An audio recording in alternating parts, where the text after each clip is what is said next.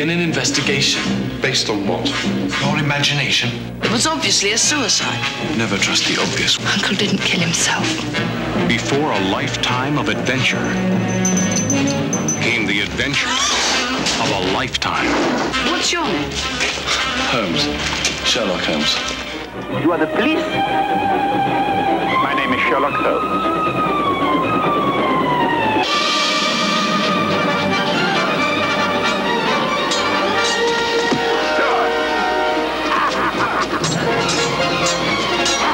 I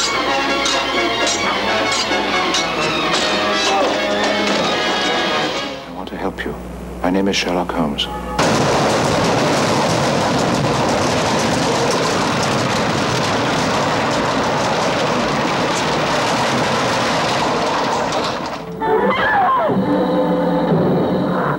Good evening, Lord Carfax.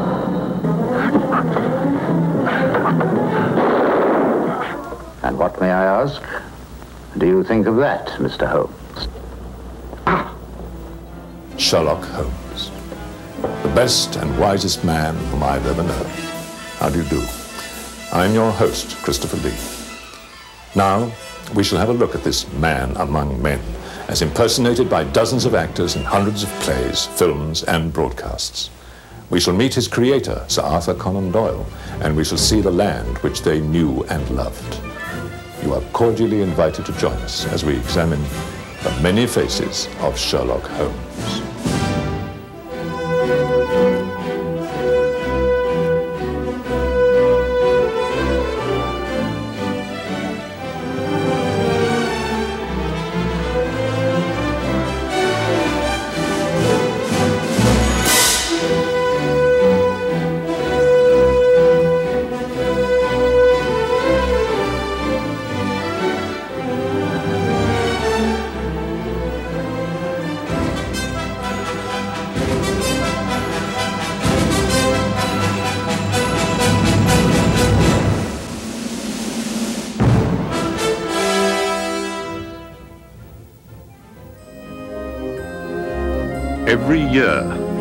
Thousands of Sherlock Holmes enthusiasts flock to London to see the locations where fiction's greatest detective pursued his vocation. The Sherlock Holmes Hotel, an excellent starting place for a tour of Sherlock Holmes London. When you finally make your way to 221 Baker Street, don't be surprised if you find a bank. But rest assured, the legend of Holmes still lives on. In fact, the bank has a full-time employee who does nothing but answer the great detective's mail. Well, I do hope you've given uh, the woman a soul. She had one, you know. By the woman, I suppose you mean Irene Adler. Yes. For Sherlock Holmes, Irene Adler was the woman, the only person who ever bested him. She lived in a fictitious house on a fictitious street in this very real and exclusive neighborhood, St. John's Wood.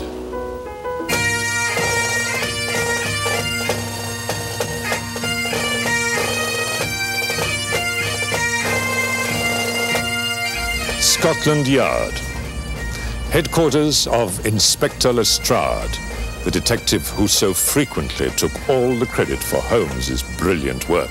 Where is Lestrade? Well, I imagine at the moment he's pretty well occupied. Just a minute, MacDonald. Get over there, all of you. You're under arrest. Now, put up your hands. The River Thames, scene of a spectacular chase in The Sign of Four. Before the maniacal South Sea islander Tonga could use his deadly blowpipe, Holmes shot him dead. His bones lie at the bottom of the river. Eerie Loch Ness in Scotland. Only in the movies did Sherlock Holmes encounter the Loch Ness Monster, which turned out to be an ingenious submarine.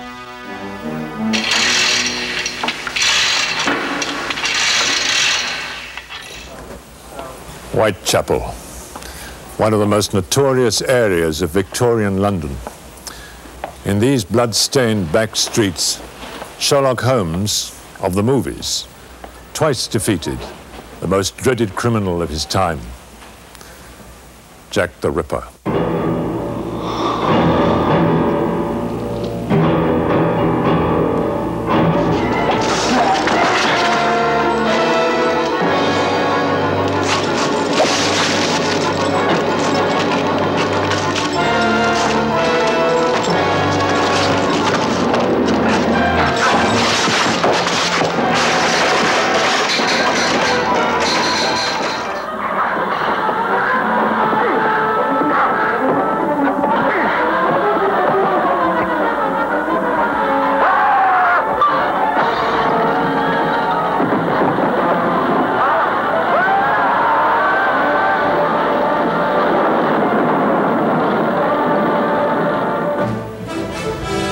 Right back with the many faces of Sherlock Holmes.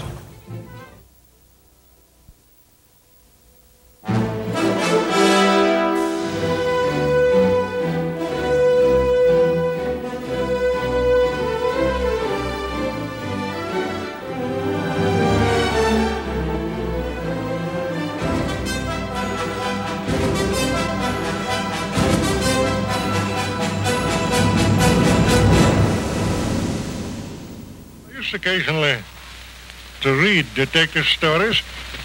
It always annoyed me how in the old-fashioned detective story, the detective always seemed to get at his results either by some sort of lucky chance or a fluke, or else it was quite unexplained how he got there. He got there, but he never gave an explanation how. Well, that didn't seem to me quite playing the game. It seemed to me that he's bound to give his reasons why he came to his conclusions. Well, once I began to think about this, I began to think of turning scientific methods, as it were, onto the work of detection. And I used, as a student, uh, to have a old professor, his name was Bell, who was extraordinarily quick at deductive work. Arthur Conan Doyle was only 17 years of age when he first encountered Dr. Joseph Bell at Edinburgh University. Eleven years later, the master of the scientific method was transformed into the world's first amateur consulting detective in the first Sherlock Holmes story, A Study in Scarlet. Three years passed before Conan Doyle was persuaded to return to the detective he had once considered calling Sherinford Holmes. This time, it was an American on the staff of Lippincott's magazine who commissioned a new novel for simultaneous publication in England and America, The Sign of Four. Again, Conan Doyle thought he was finished with Sherlock Holmes, but the following year, George Newnes, editor of the brand new magazine, The Strand, published a series of Holmes stories, starting with the seventh issue, July 1891. Again, Conan Doyle foolishly wiped his hands after the 12 were in print. The public and the publishers, however, would not let go. Against every personal desire except the one for money, he obtained a lucrative contract for 11 more stories and then drew his own plans against the life of Sherlock Holmes.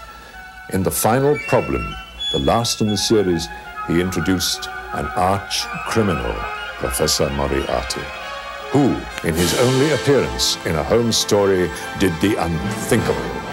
He killed Sherlock Holmes. The two, locked in a death struggle, tumbled into the Reichenbach Falls in Switzerland, never to be seen again, Conan Doyle fervently prayed. No such luck. The die had been cast and had landed a winner of such proportions that its very creator remained baffled for the rest of his life.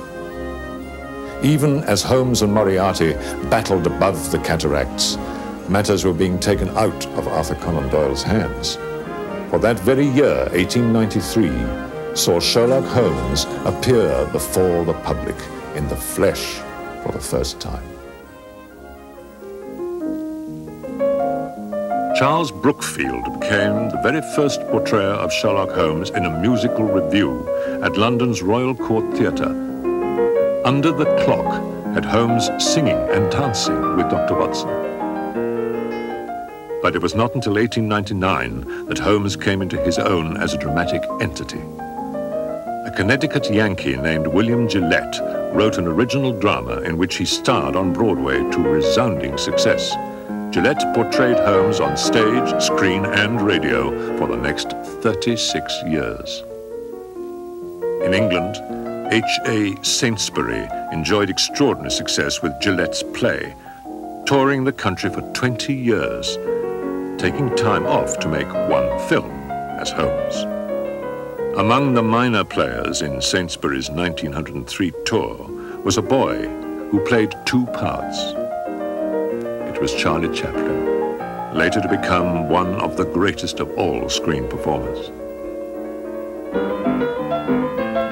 Thomas Edison produced the first film of the great detective in 1900. The name of the actor who played in Sherlock Holmes Baffled is lost to history but the film itself exists, the first of over 100 silent productions from six countries. Universal produced A Study in Scarlet in 1914, starring director John Ford's brother, Francis. William Gillette brought his famous stage play to the screen in 1916. Despite his 63 years, his performance gained critical acclaim and reaffirmed his virtual ownership of the character. The screen's most prolific Holmes was Eille Norwood, who appeared in a staggering total of 47 films in three years. Conan Doyle admired Gillette and Norwood above all others in the role. Samuel Goldwyn filmed the Gillette play in 1922 with John Barrymore as Holmes and Roland Young in his pre-Topper days as Watson. All the while, Conan Doyle himself was writing the last of the Holmes stories for the Strand magazine and seeing many of his other stories reach the screen, including his classic, The Lost World.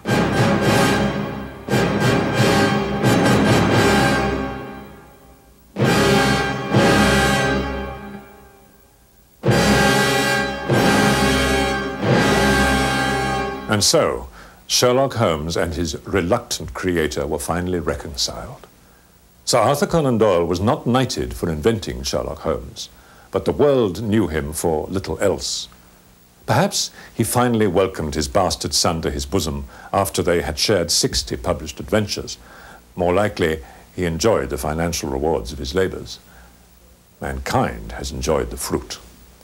As Sherlock Holmes himself put it with characteristic modesty, I think I may go so far as to say, Watson, that I have not lived wholly in vain. The air of London is the sweeter for my presence. Please join us when we return to examine the most famous Holmes of them all, Basil Rathbone. Hello.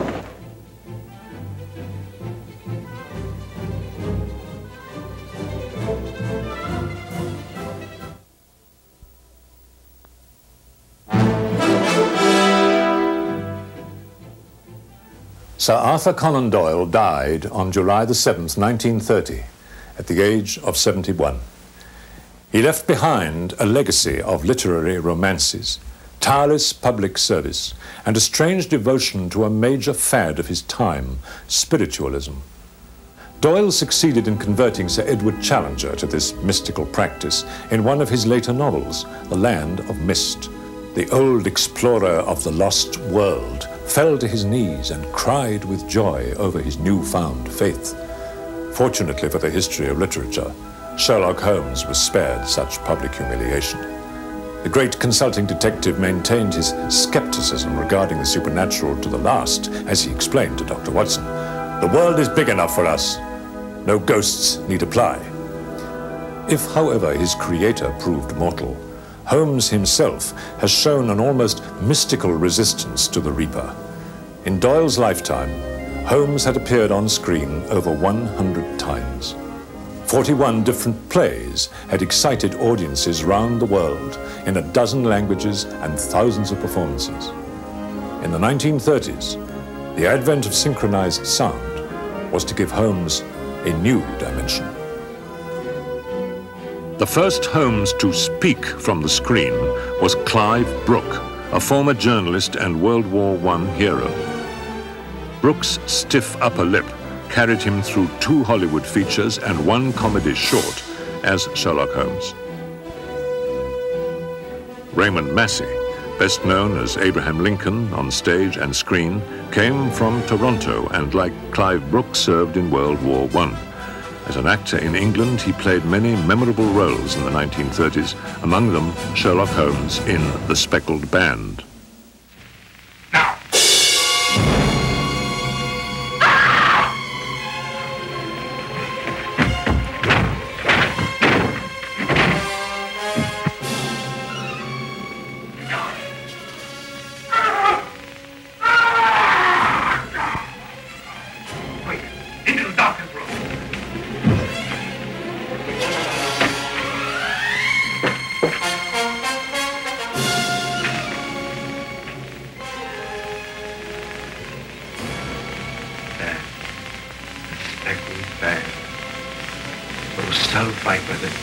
Snake in India. He would have died within 10 seconds of being bitten. To English audiences, the definitive Holmes of the screen is Arthur Wontner, who played the part five times. Though in his late 50s when he began in 1931, Wontner brought originality and humanity to his interpretation.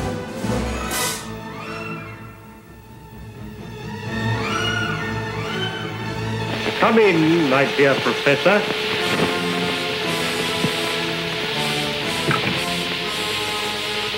May I point out, Mr. Holmes, that it is a very dangerous habit to finger a loaded revolver in the pocket of one's dressing gown? Just a slight precaution.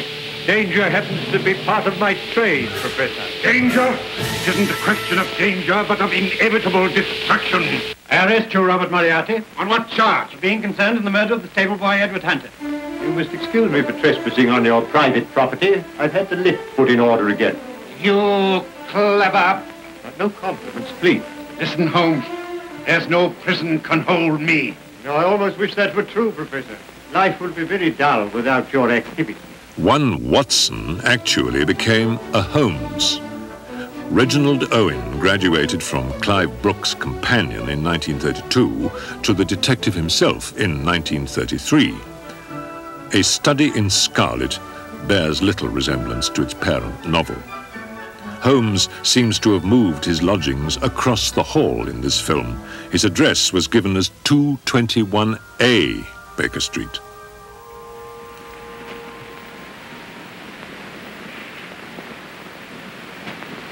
Client, Watson. Well, the widow standing under the street lamp. A widow? Would you like to bet on that? Of course. Well, I'm not going down the street to ask her. Ah. Won't be necessary. She's made up her mind.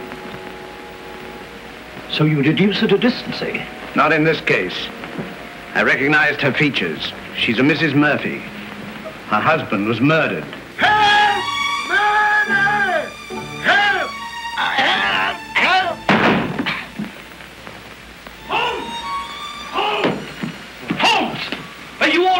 Quite all right. Thank you, Watson. Take them downstairs.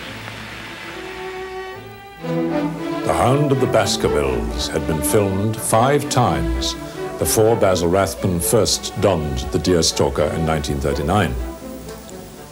A popular screen villain, the 47-year-old native of Johannesburg, South Africa, had proved one of the screen's most able swordsmen. He had already been dispatched once by Leslie Howard and twice by Errol Flynn. As you can see, Rathbone was denied top billing by 20th Century Fox, a mistake not to be repeated by Fox or their successors at Universal. Rathbone's Watson was lovable, bumbling Nigel Bruce, who was three years younger than Rathbone, though he looked older. Their chemistry proved sheer magic, and it endured through 14 Holmes features and eight years of radio.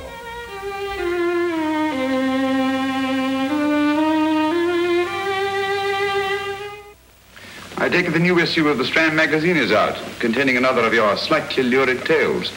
Indeed. And what do you call this one?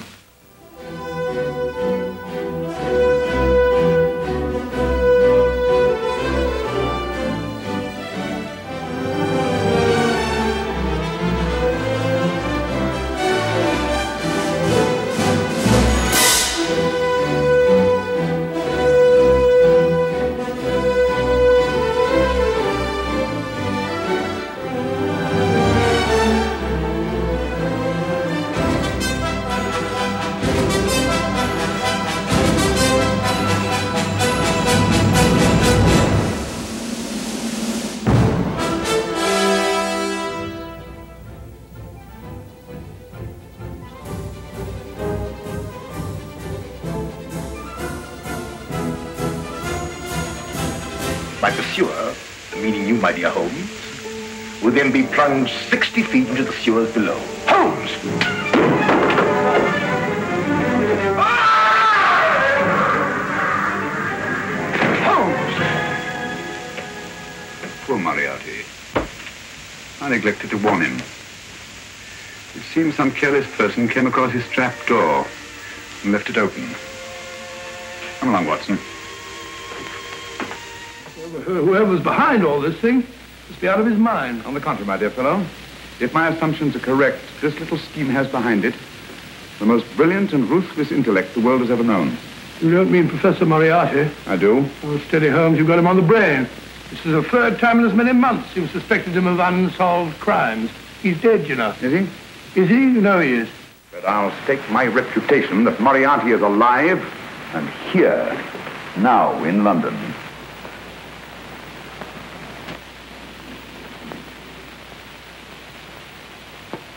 Oh, Professor Moriarty. Not that I wish to appear inquisitive, but to what am I indebted for the pleasure of this visit? Scotland Yard will be interested. As I get on in life, the little comforts appeal to me more and more. Oh, I beg your pardon. Won't you sit down? Thank you. And now, Professor Moriarty, what can I do for you? Everything that I have to say to you has already crossed your mind. My answer has no doubt crossed yours. That's final? What do you think? I shall not rest until you are hanged for the finger murders. And now, Professor, our score is settled. Au revoir until I see you on the gallows. The rope has not been made that'll go around my neck. Come on.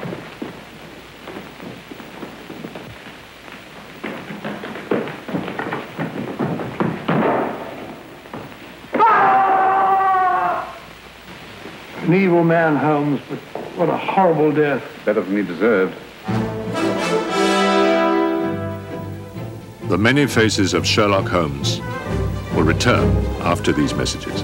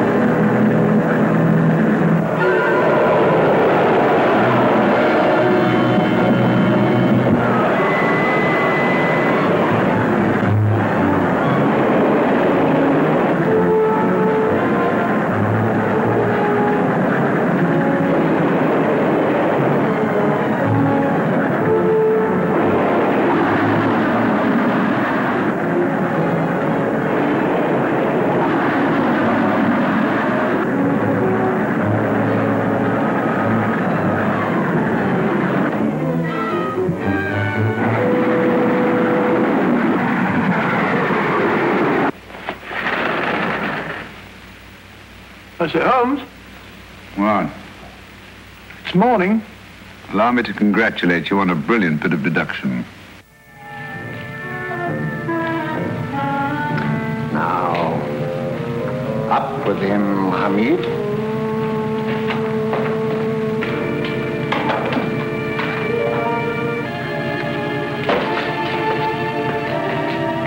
Plenty of fuel in the tank? It would be too bad to have anything go wrong through so simple an oversight.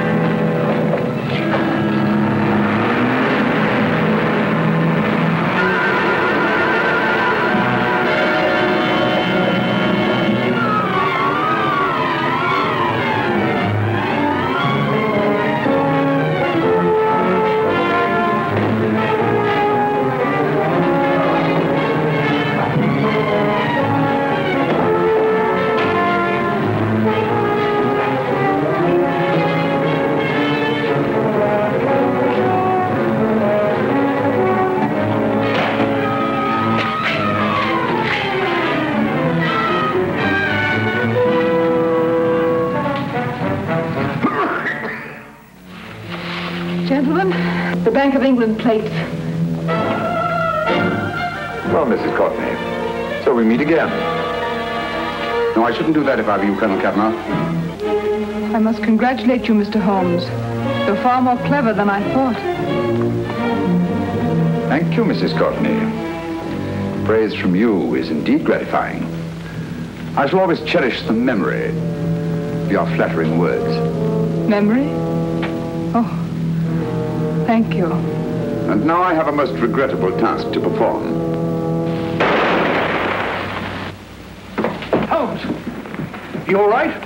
Perfectly, thank you, old fellow, but I think this gentleman on the floor requires some medical attention. We must see that he looks his best, you know, when he's hanged. Upon commencement of production of The Hound of the Baskervilles in 1939, Basil Rathbone enthused, I think that Holmes is one of the greatest characters in fiction. To play such a role means as much to me as ten Hamlets. In later years, however, he looked back upon his sojourn at Baker Street with less enthusiasm. I don't know how Watson put up with Holmes all those years. I don't know how I did. The only mystery I couldn't solve was the same one Conan Doyle had how to get rid of the man. As far as the world is concerned, neither of them ever will.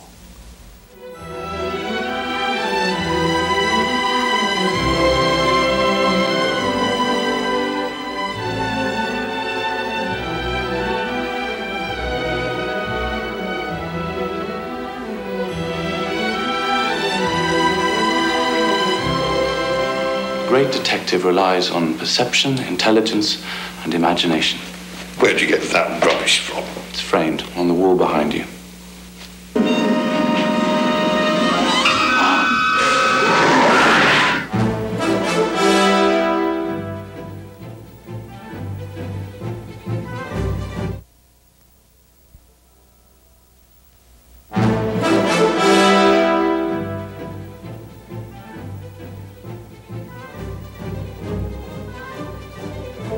Here's a good trivia question for you.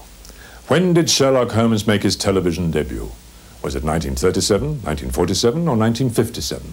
The correct answer is 1937. Actor Louis Hector had played the part on NBC radio and became television's first Holmes when the network broadcast a full evening of experimental television in November 1937. Twelve years passed before Holmes reappeared on the small screen this time in the person of Alan Napier, best known to television audiences as Batman's butler. John Longden had appeared in four Alfred Hitchcock films and many others before starring in an ill-fated 35-minute television film of 1951. It was called The Man with the Twisted Lip, based on the Conan Doyle story of the same name. A matter of simple deduction, madam. Surely any woman whose husband has disappeared would go at once to his office and speak to his business associates in an endeavor to learn of his whereabouts. Since you have no such knowledge, it is obvious that you do not know where your husband's office is, nor do you know who his associates are. The only explanation is that your husband not only has failed to tell you of his affairs, but has moreover forbidden you to learn of them. Why? I don't know.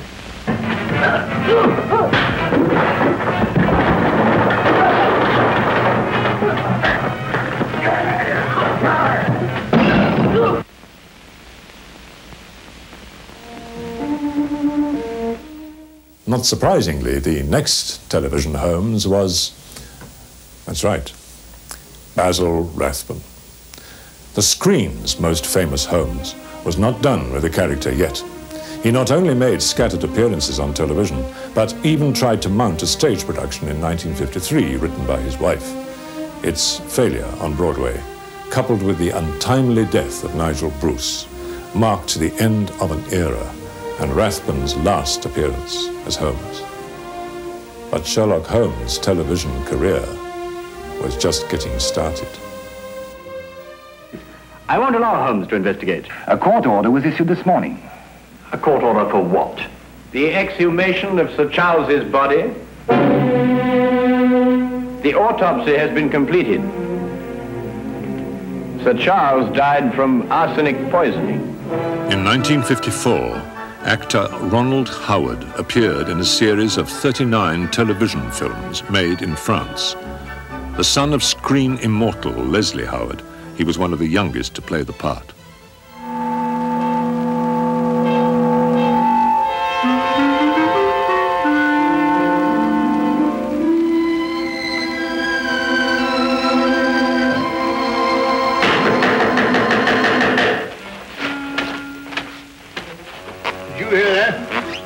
Difficulty. What was it? Well, according to my deductions, I should imagine that someone is at the door.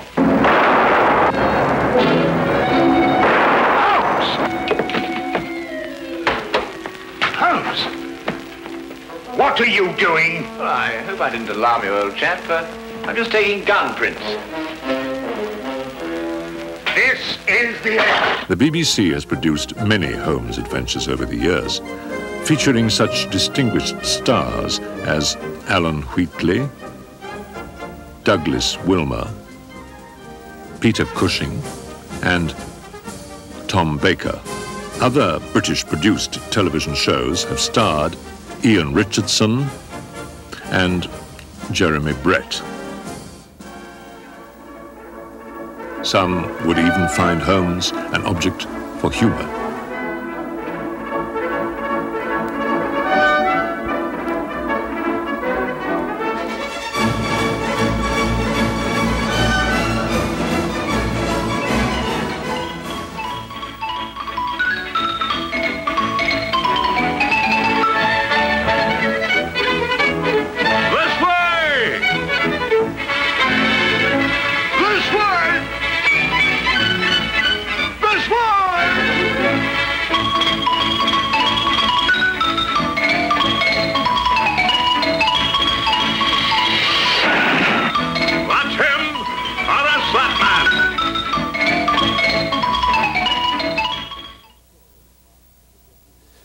Same story which marked the debut of Basil Rathbone as Sherlock Holmes became the vehicle whereby a young Londoner made his first appearance in a film about the great detective some 20 years later.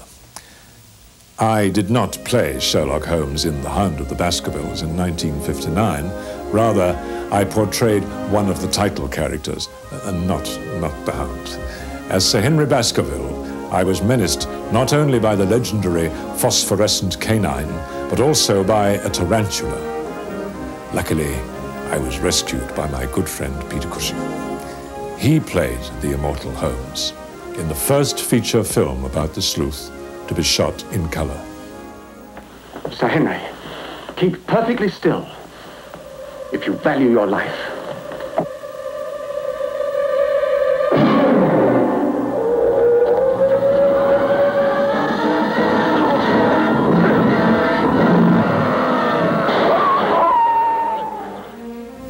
In 1962, a German film company offered me a chance to play Holmes myself in Sherlock Holmes and the Deadly Necklace. Thorley Walters played my Watson and later repeated the role briefly for Gene Wilder. Unfortunately, our voices were replaced on the soundtrack by those of other actors. Watson, for the last time. Here, on guard. All right, if you insist.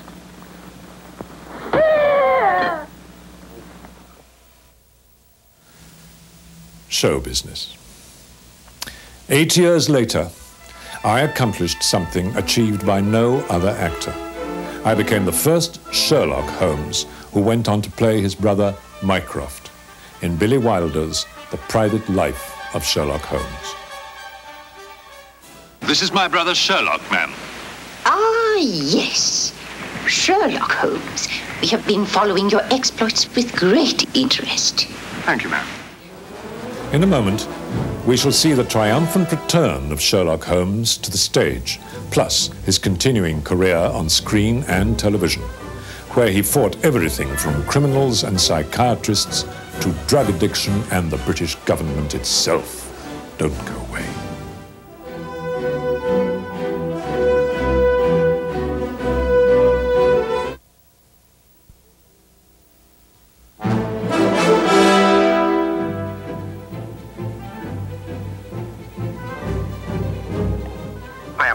Am on the case, and you have placed me there. Now you must follow my instructions.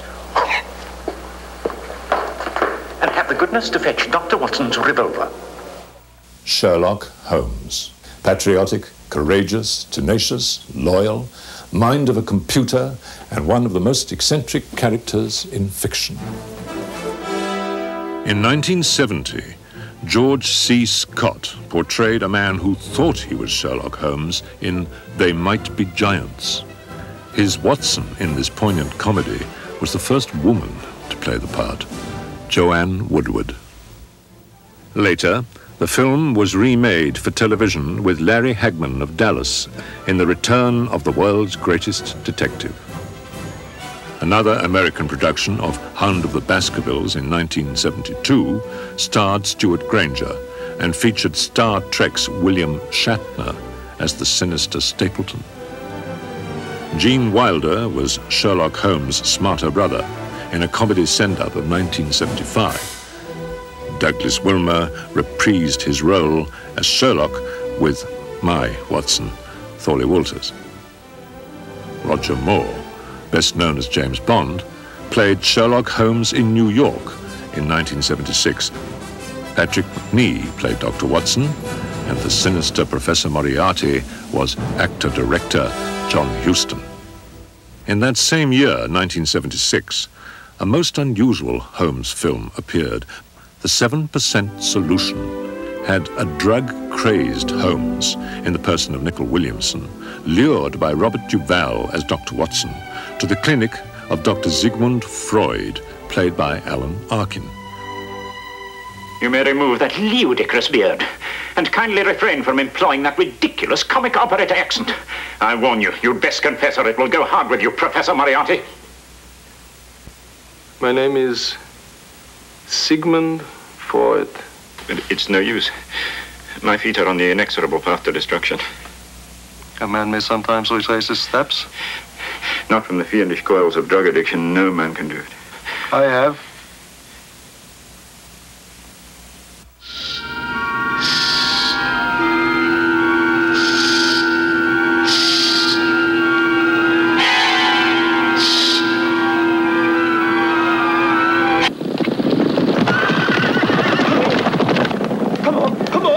Make ourselves a target. Quickly! Hello!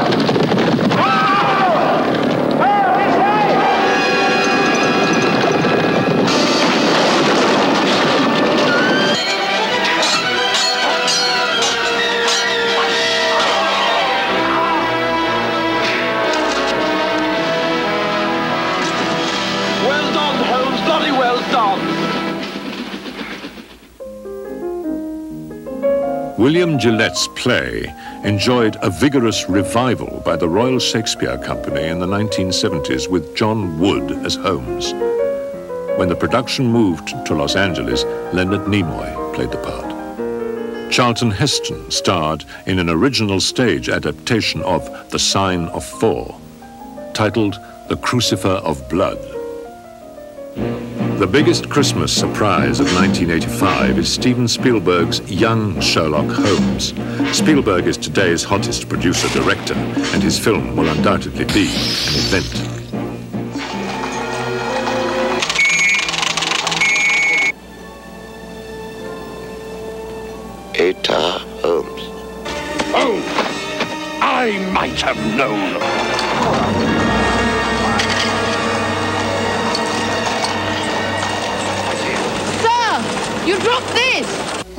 Nice. Oh, very nice. Egyptian. It's only a hallucination. Maybe not. Oh my God, they're going to kill her. Stop! She's alive! As we approach the 100th anniversary of the first appearance of Sherlock Holmes, we may look back upon his enduring and lively career with some astonishment. What makes him as fascinating to citizens of the nuclear age as he was to readers at the turn of the century? Perhaps, despite all evidence to the contrary, we still seek order in our increasingly disordered universe. Perhaps it is the simple pleasure of watching a master craftsman ply his dangerous trade. As Dr. Watson observed, I had no keener pleasure than in following Sherlock Holmes in his professional investigations and in admiring the rapid deductions with which he unraveled the problems which were submitted to him. May Sherlock Holmes of Baker Street continue to give us all such keen pleasure for many years to come. We shall return shortly to share with you a few classic moments from the many faces of Sherlock Holmes.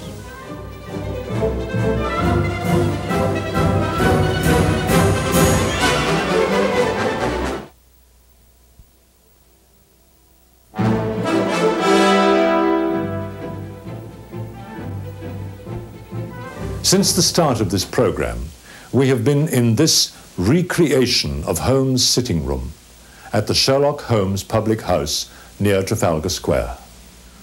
Here, you can see mementos of dozens of cases, plus various articles which might have belonged to Holmes and Watson, but actually belonged to Sir Arthur Conan Doyle, and were inspirations to his writing. Sherlock Holmes described himself in simple terms. I'm a consulting detective, if you can understand what that is. Here in London, we have lots of government detectives and we have lots of private ones. When these um, fellows are at fault, they come to me, and I manage to put them on the right scent. They lay all the evidence before me, and I am generally able to set them straight. I cannot agree with those who rank modesty among the virtues. My mind is like a racing machine tearing itself to pieces because it is not connected up with the work for which it was built. I cannot live without brain work. My life is spent in one long effort to escape the commonplaces of existence. Let us take a final look at our distinguished list of players as they show us a few of the many faces of Sherlock Holmes. You're the new boy. Yes, I transferred from another school. My name's... Wait. Let me.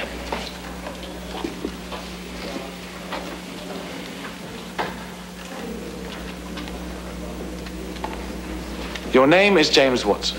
You're from the north of England. Your father is a doctor. You spend a considerable amount of leisure time writing, and you have a particular fondness for custard tarts. Am I correct? My name isn't James, it's John. Oh, James John, what's the difference? A great deal. Oh, very well. So your name is John. How did I do on the others? You were correct. On every count. How's it done? Is it some sort of magic trick?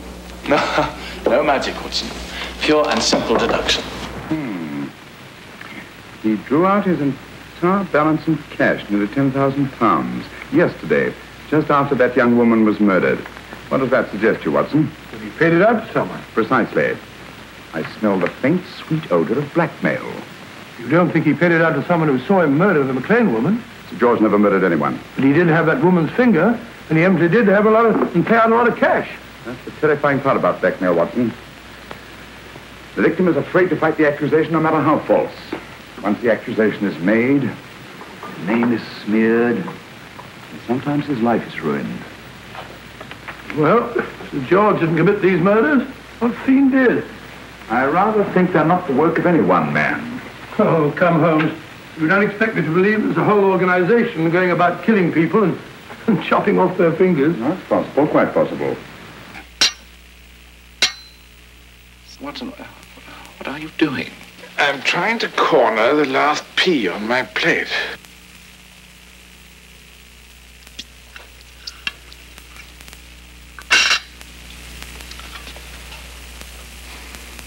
Squashed my pea. Ah, the game's afoot again. This hat is three years old. The flat brim curled at the edges came in then. It belongs, Watson, to a man who has suddenly gone down in the world. He's middle-aged, goes out little, and has grizzled hair which has been cut in the last few days.